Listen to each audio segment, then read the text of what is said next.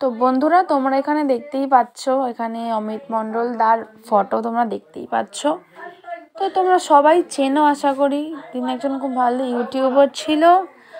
আর আর খুব ভালো ভালো ভিডিও বানাতো, সেটা আমিও দেখতাম। আমার খুব ভালো লাগতো মানে আমাদের লাইফস্টাইলটা আমার খুব ভালো লাগতো।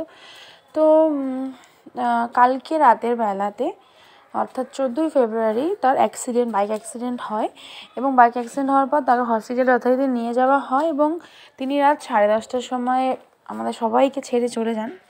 তো ঘটনাটা খুবই বেদনাদায়ক লাগছে কারণ তিনি বলতে পারেন সবে সবে তার মা বাবার মা বাবার সাথে মানে মা বাবাকে ভালো রাখার চেষ্টা করছিলেন এবং তিনি করতে পারছিলেন। সবে সবে তিনি উঠছিলেন আর কি। তো এর মধ্যে এত বড় একটা জিনিস হয়ে গেল যেটা খুবই বেদনাদায়ক লাগছে, খুবই খারাপ লাগছে। ভগবান বলে যদি সত্যি থাকি, থাকেন তো জানি না এরকম হতো কি না।